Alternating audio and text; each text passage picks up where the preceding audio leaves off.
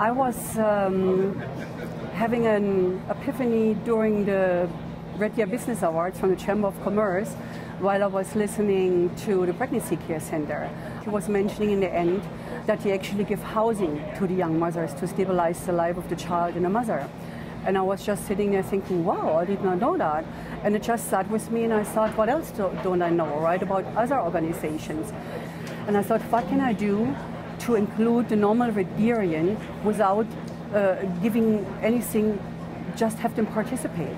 So I thought, I'm going to do the giving. I'm going to give $2 from each Thursday lunch, and people are giving by just participating. So we drew today the first name, and what is going to happen is in the first week, I will focus on introducing the charity. In the second week, I would like to talk about the people who are working at a charity, what they contribute to that. And the third week, I would like to talk about the people who are helped by that charity. And the fourth week, at the end of the month, of course, there's the check. I'm trying to find other local businesses who piggyback on me, who will say, I match your check.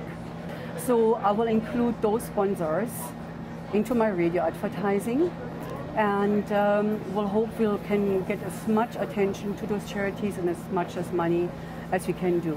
It will not be a big amount of money, but it will be more money in the end as they had the months before.